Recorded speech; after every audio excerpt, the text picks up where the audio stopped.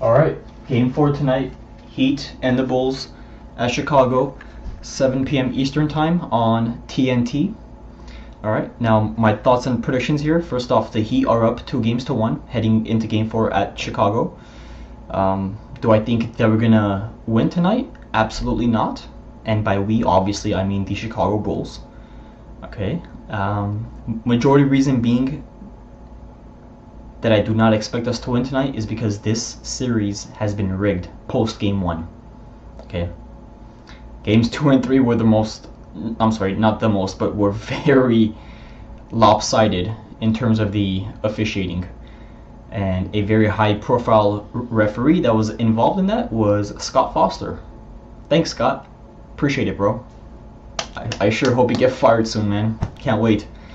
Um, what else? Let's see here.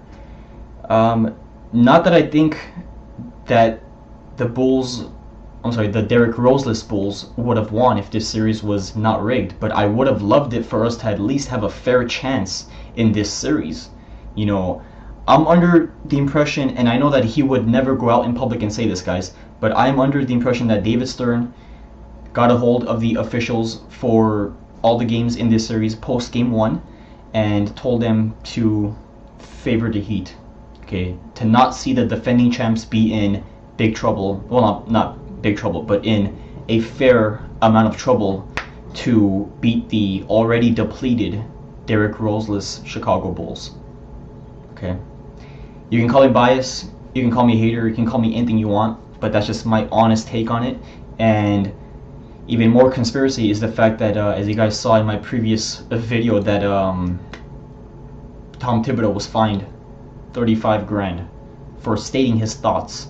Okay, for taking shots at the officials, knowing. I mean, he he too knowing that you know this series is just plain rigged. You know, the NBA wants to favor the defending champions. I, I hate to say it, and I say that with no intention to hate on the Heat whatsoever, in all honesty. But the truth has to be told. And I guarantee you, as a matter of fact, I'm promising you that if this was the, the Chicago Bulls being favored, I would have said it. In all honesty, I would have told you guys, hey, look, this series is being favored for the Bulls. That's just my honest hypothetical promise to you guys, should it ever happen, that is. Alright, so, so, that's my predictions. Um, I also do expect the Heat to win Game 5 to close the series out four games to one.